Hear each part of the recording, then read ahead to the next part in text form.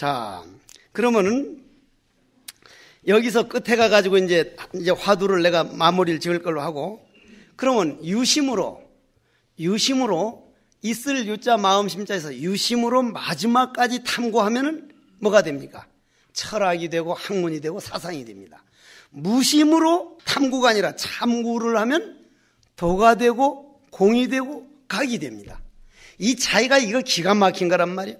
그러면 유심으로 탐구하는 것하고 무심으로 참고하는 차이를 요 번호 내에서 이제 이게 이게 이제 정리가 돼야 되는 게라. 그러면 한번 읽어보고 요걸 이제 첫 시간까지 거의 돼야 마지막에 가서는 이제 이 마무리하는 거를 이제 이제 해야 할 거란 말이요. 내가 무슨 교재를 하나 가지고 강의를 시작하면 처음부터 마지막까지 아주 일목요연하게 정리 잘한다고 하는데 여기서도 그걸 깨지면 안 되니까 이제 한번 다 읽고.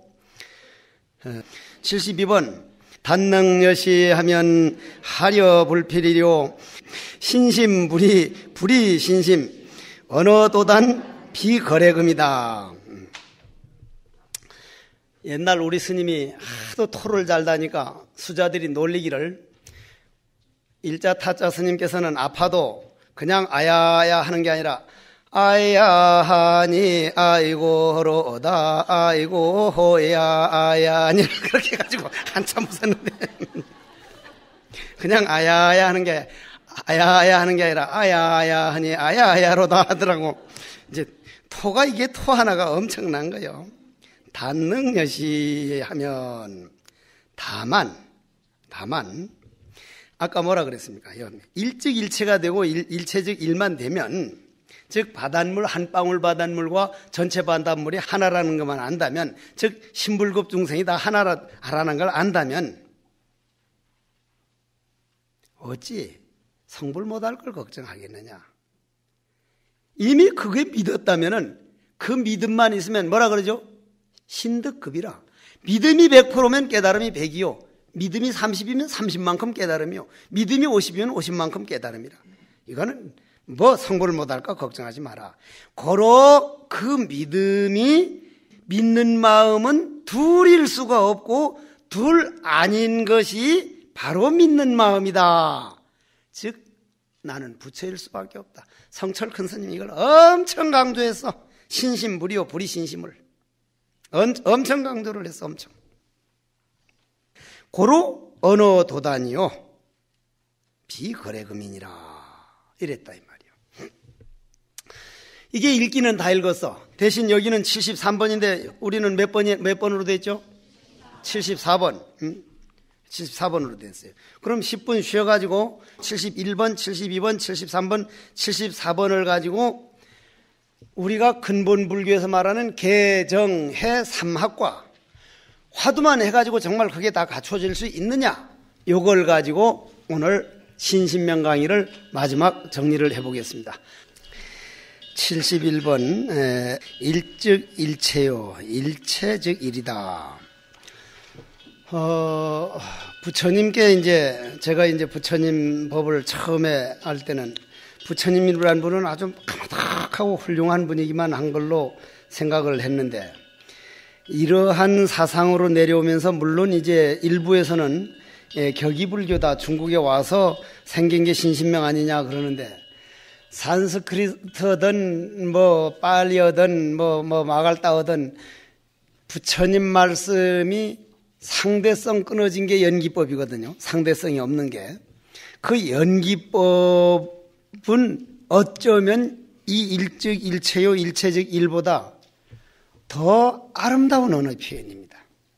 그래서 저는 격이불교라고 해가지고 중국에 와서 많이 달라졌다지만은 동양의 사상에서 이해 쉽도록 이제 많이 중국화돼 가지고 한 거지만 뜻으로 봐가지고 바닷물 변화가 없듯이 전혀 어, 그참 뭐가 안 된 게 이제 그거다 그렇게 생각하는데 그러면 조금 이제 원론적인 얘기로 돌아가 가지고 결론 결론 내가면서 개정해와 화두 쪽으로 이제 들어가는데 부처님께서 팔정도에서 제일 먼저 나오는 말이 무슨 말입니까? 정견이죠. 바로 보라죠. 바로 보라. 그러면 부처님께서 내가 그 당시에 부처님을 직접 모시고 못 있었던 건 맞는 것 같아요. 2500년 뒤에 와서 이 고생하는 거 보면 그건 틀림없이 그 당시에 아마 조다리 따라다니면서 별 못된 짓을 다 한 거는 여러분 웃지만 여러분들은 나보다 더 해면 했지 나보다 덜한 사람은 아니요. 그 웃을 일은 아니라고. 그거 뭐 결코 나보다 뭐 막상 막 할 거야 아마. 그러면 부처님께서 바로 보라 하고 그 부다가야에서 확철히 깨달으셔가지고 어 뭐 9일인가 열 며칠인가를 그, 그 걸어서, 걸어서 와가지고 그 사제법 할 정도를 설할 때 바로 보라 할 때 그러니 보는 바 있는 이런 걸 뭐 물건 보는 거를 정해놓고 바로 보라고 난 이렇게는 안 했다고 보는 사람이 그렇지는 않았을 거 아닌가. 그러면 우리가 그러한 것을 바로 이해하는 데는 참선에서 공돌이를 보고 나서 부처님이 바로 보라 한걸 딱 보면 그게 저 밑으로 아까 저 달마거사 말씀처럼 제가자들에게 정말 이해가 되도록 아 이거구나 하는 말이 되려면은 따로 볼 게 있는 게 아니라 이걸 뭐라고 표현할 방법이 있을 텐데 예를 들어서 내가 오늘 되게 슬프다. 정말 슬프다. 인간들이 죄를 저질러 놓고 무슨 말이냐면 죽은 소를 그걸 사료를 만들어서 소를 억지로 먹여가지고 구제역을 만들어 놓고 큰 많은 소를 파묻을 때 더욱더 난 텔레비전을 안 봐서 그러는데 어제 선원장들 모임에서 목탁 소리 나는 소가 있었다면서요. 똑똑똑 하는 그 세 마리를 그 소를 어떤 주지 스님이 비싼 값을 주고 샀다네요, 그거를. 따가지고 그거 가지고 신도들 좀 모으고 그러려는데, 구제역으로 그만 세 마리를 다 파묻었다는 거예요. 그 강화 안 갔으면 그런 일이 생길지도, 강화 딱 사가지고 갔는데, 강화에서 파묻었다는 거예요, 세 마리를 다. 말은 이렇게 그 스님 생각하니까 어처구니 없어 웃지만은, 아, 어떻게 마음이 그래 안 됐는지. 충주에서 2만 6,300마리 땅 묻었다고 한 날은 저녁이 안 맥혀요. 막 무릎을 꿇고 소들한테 용서를 빌고 싶고 정말 미안하다. 인간들 잘못한 건 내가 대신 정말 사과할게. 한 맺히지 마라. 제발 한 맺히지 마라. 와, 그 눈 말똥말똥 맑은 눈이 산채로 그냥 다 매장하는 거. 그 이래도 되는 건가 싶고 막 슬픈 마음이 확 일어나면요. 감당을 못할 때가 있거든요. 제가 그런 거를. 그 왜 그럴까 몰라. 감당이 안 돼. 그런데 바로 보라 하는 이 말씀 한마디가 아주 슬퍼하는 손님이 날 찾아왔구나. 오늘은 이 손님과 하나 되는 게 나다. 이 슬픔을 전체로 내가 받아들이자. 슬픔 따로 놔두면 슬퍼서 막 못 살고 죽겠는데 이 슬픔 자체가 되면 슬픔 자체가 나하고 하나가 돼가지고 손님을 받아들여가지고 내 걸로 만들어가지고 슬픔이 수행이 돼버립니다. 수행이 돼버려.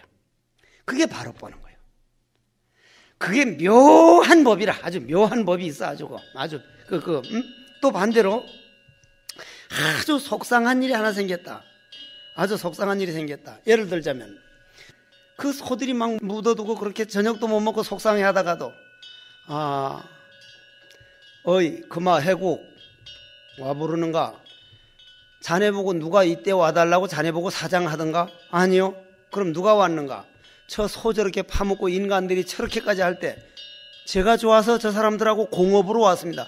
그럼 그걸 다 받아들여야 할 거 아닌가 이 사람아? 아 맞습니다. 그 속상한 걸 고스란히 받아들여가지고 오늘 내가 맞아서 치료해야 할 손님은 이 손님이다. 어이 속상한 손님 어서 오시오.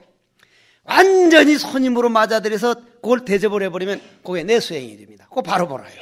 그거 바로 보라거든. 일체 내한테서 일어난 모든 걸 거부하지 말고 전부 다 나로 만들어 버리라. 이게 바로 보라는 소식이라고 난 이렇게 보는 사람이요. 이게 옳다는 건 아니요. 그러면 슬픔이든 기쁨이든 오늘 내한테 일어나는 모든 놈을 내 가장 공양해야 할 부처님으로 딱 받아들여 버리는 그것이 극치가 화두입니다. 그게 극치가 화두요. 그 마지막 완벽하게 그 손님으로 받아들일 줄 아는 그, 그 극치가 화두란 말이요. 자, 그러면은 처음에 이런 말씀을 드렸습니다. 신심불이요, 불이 신심이다. 무슨, 무엇이 신심이냐? 말길이 끊어진 세계, 말이 나오기 이전 세계, 너니 나니 나누기 이전 무분별의 세계, 그 세계가 바로 참 나인데 누가 나를 배신했습니까? 저 우리 석종사 다니는 신도들은 낮에마다 날마다 날마다 날마다 축원하는 것이 치심바론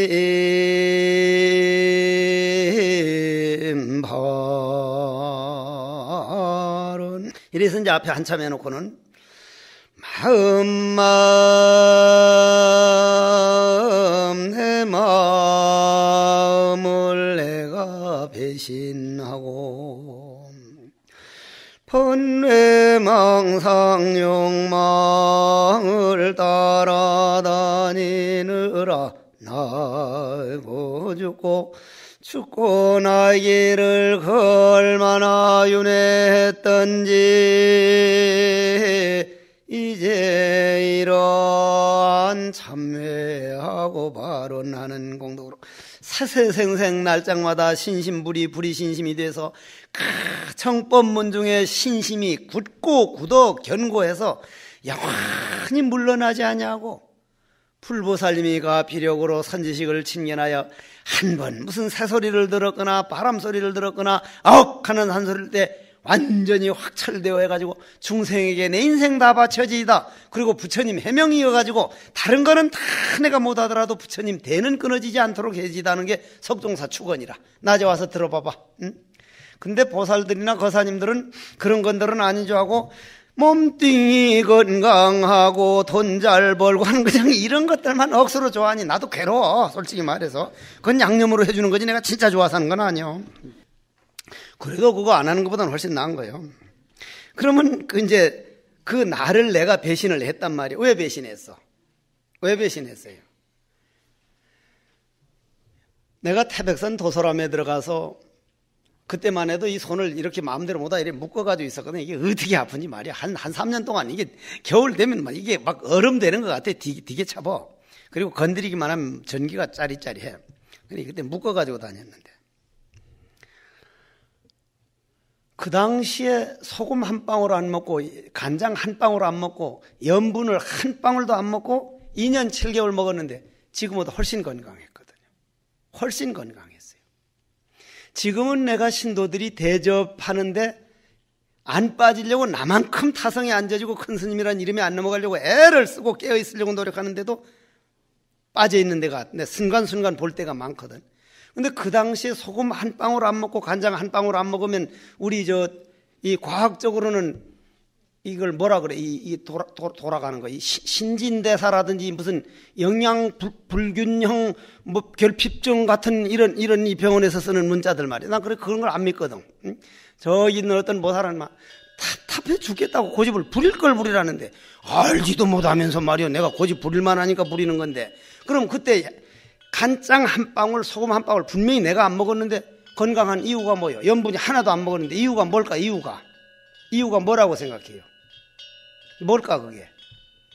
3,000% 빠져가지고 이거 다른 얘기 하는데 그거 하긴 할게요 어쩌거나 그러면 여러분들이 저 뒷산에 가서 내가 먹어보질 않아서 모르는데 산돼지를 잡아 먹, 먹거나 노루 피를 먹는다는데 피 먹으면 짭답다 짭아 짭대 먹어본 사람한테 내가 세 사람한테 물어봤어 짭짤하다는 거요 난 노루가 오일 시장에 와서 소금 사다가 김치 담가본 먹었다는 역사를 못 들어봤거든요 그리고 산돼지가 콩 사다가 된장 담가서 간장 된장해서 저 풀 찍어 먹었다는 얘기를 아직까지 못 들어봤습니다. 본 일도 없고요. 여러분도 못 봤죠? 그럼 왜 짭니까? 그것들은 왜 짜? 소금 안 먹었거든요. 된장 간장 안 먹었거든요. 근데 짭잖아요. 왜 짤까? 그냥 풀 속에 우리에게 필요한 염분이 우주 자연에서 우리 몸에 왔기 때문에 그냥 유지되도록 되어 있습니다. 다만 자극성을 찾는 우리 요 이 조동아리 입이 늘 자극성 더 맛있고 더 좋은 거 더 좋은 거 하다 보니까 더 짜은 거 짜은 거 해서 그렇지 그냥 풀 속에 쌀 속에 그냥 나무 속에 우리 몸 유지할 대지와 공기와 햇빛과 지수화풍이기 때문에 우리 몸이 그냥 유지되도록 되어 있습니다. 그게 완벽하게 되어 있다고요. 완벽하게. 고로 화두라는 것은 아무 모양이 없습니다. 다만 자 화두라는 건 뜰 앞에 잣나무니라 모양이 있어요? 없죠? 아무 모양 없습니다. 모양이 없기 때문에 어째서 뜰 앞에 잔나무라 했는가? 이 뭐고 무슨 화두든지 화두를 하면은 잡념과 번뇌 망상에만 안 빠져 들어가면 깨끗하죠. 맑고 맑습니다. 정말 깨끗하거든요. 깨끗한 걸 뭐라 그럽니까? 개라 그럽니다. 개. 개 정해 할 때 개라 그럽니다. 개. 개 저 바다에 기 말고 기하고 개는 달라.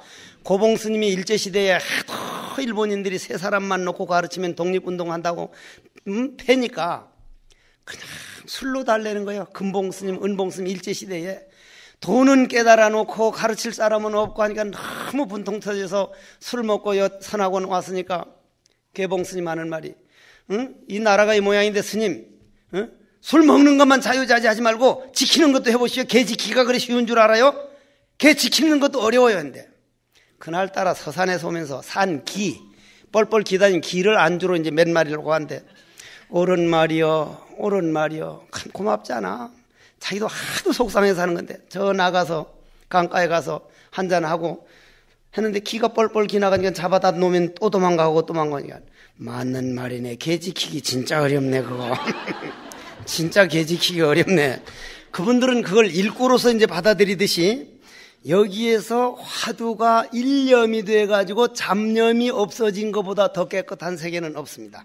우리가 깨끗하다 하면 어디 모양이 있는 걸 깨끗하다 생각하는데 우리 마음 부처가 번뇌망상에서 벗어나서 일념이 된 것보다 더 깨끗한 세계가 있으면 나오라 그래 봐요. 나오라고. 한번 내놔보란 말이요. 그게 개요.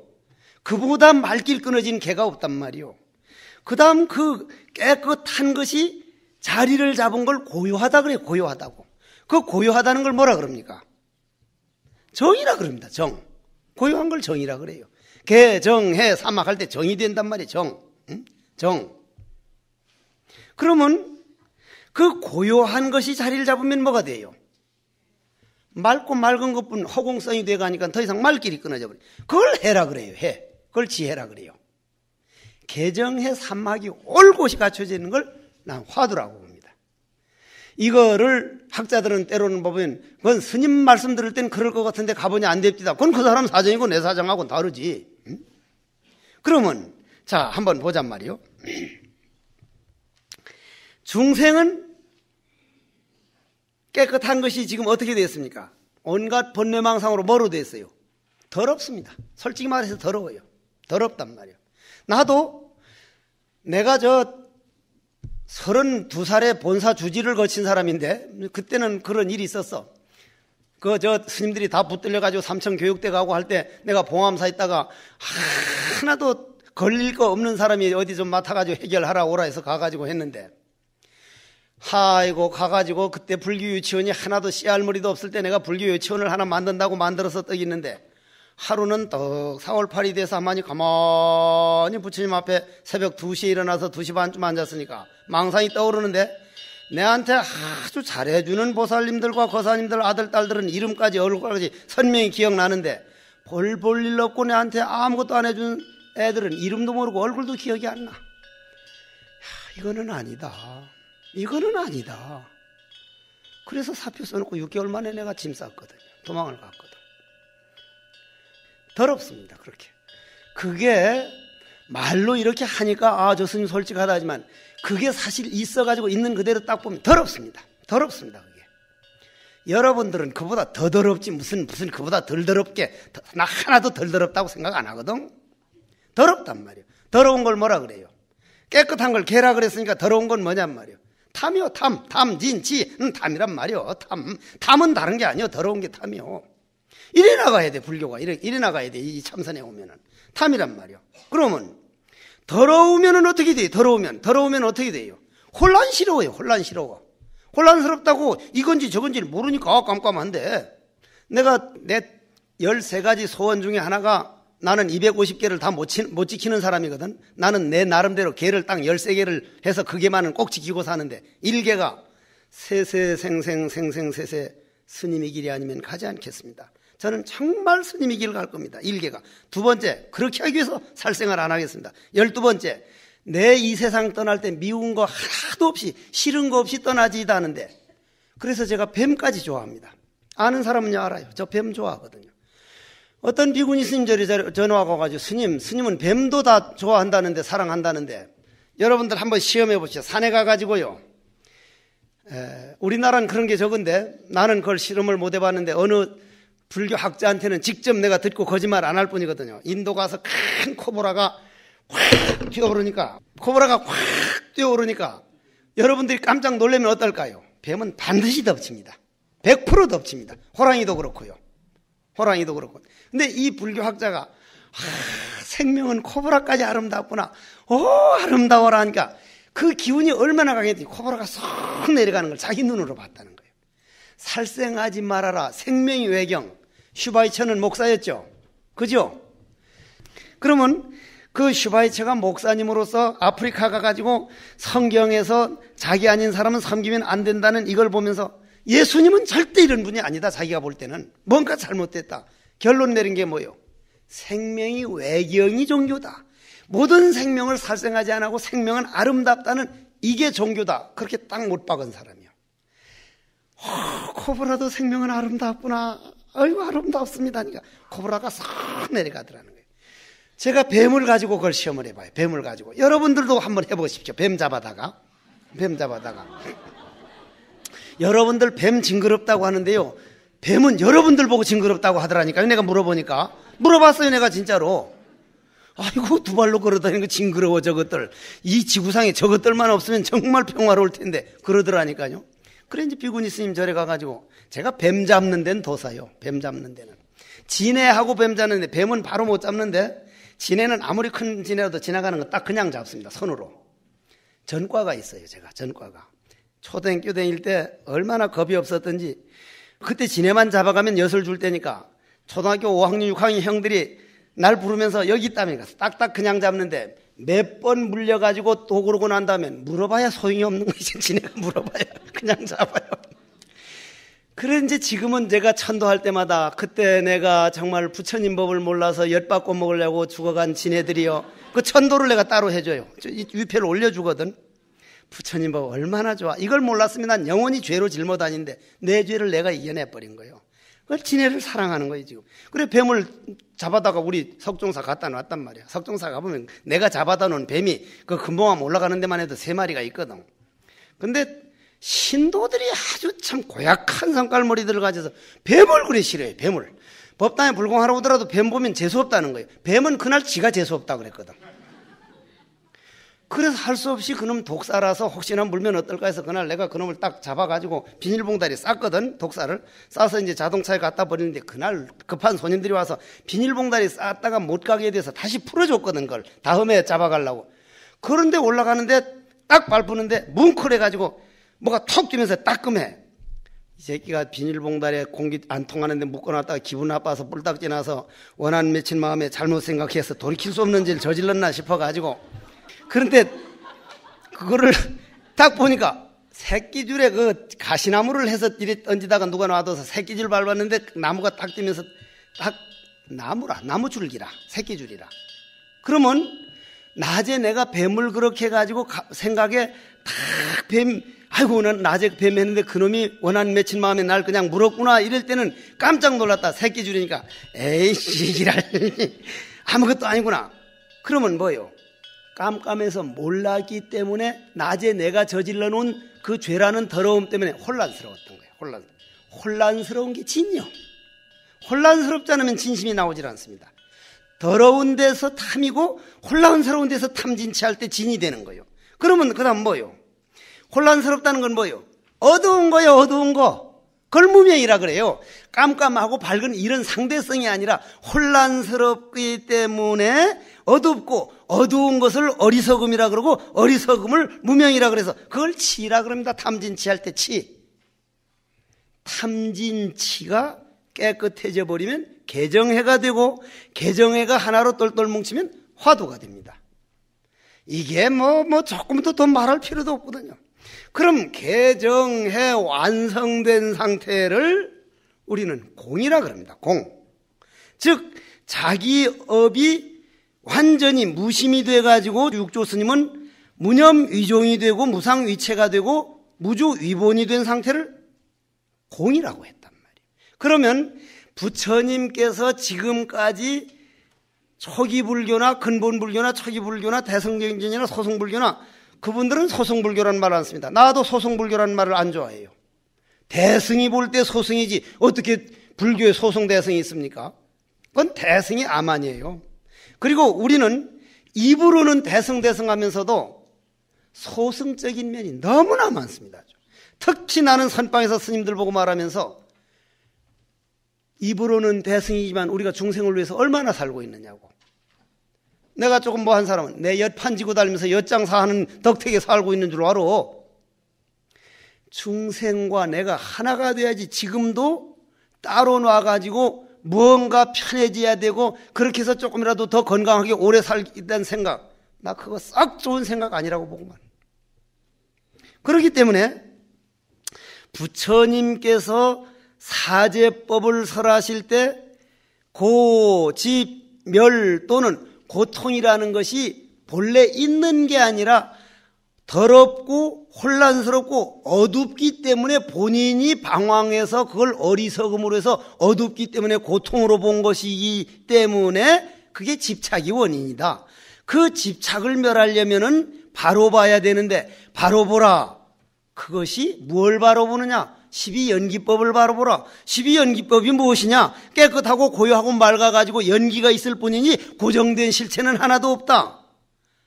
바로 공이요, 중도요, 마음이다. 그것이 육조 스님대에 오면은 무념위종이요, 무상위체라, 무주위본이 되는 거예요.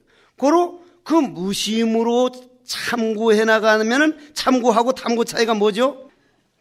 탐구라고 하는 것은 내 생각이 세계에서 하기 때문에 반드시 욕심이 앞섭니다. 욕심이. 이걸 이루어야 되지. 자꾸 채워 넣습니다. A 플러스 B는 뭐다. 코사인 S는 뭐, 음, 뭐, 사인 뭐 얼마다. 뭐, E 에코로 MC 제곱이다. 뭐, 계속 외우고 하기 때문에 요 그릇 속에다가 계속 집어넣습니다. 계속 집어넣어. 그러면 그 쌓아놔서 많이 이루어진 것을 우리는 학문이요, 사상이요, 철학이라 그러는데 무심해서는 하게 되면 무심이 뭡니까? 덜어내는 걸 무심이라고 하니까 또 덜어내고 또 덜어내고 또 덜어내고 또 덜어내고 해서 텅 빈 허공이 된 것을 우리는 공을 도라 그러고 공이라 그러고 깨달음이라 그러고 모든 말이 그 안에 다 들어가 있습니다. 그렇다면은 결국은 뭡니까? 덜어내는 법은 우리 번뇌망상을 화두라고 하는 허공 속에 쏙 빠져 들어가는 거기 때문에 화두 참고법이다. 고로 간화선이만이 아니라 조사선은 이러한 도의 세계를 한마디 듣고 바로 깨달아 버렸기 때문에 참고를 안 하기 때문에 그냥 조사 스님들이 말 한마디 깨달았다 해서 조사선이라 그러고 그걸 깨닫지 못해서 그 덜어내고 덜어내는 참고의 과정을 거쳐서 깨달아서 그걸 화두라 그래서 화두를 간한다 참고한다 해서 간화선이다.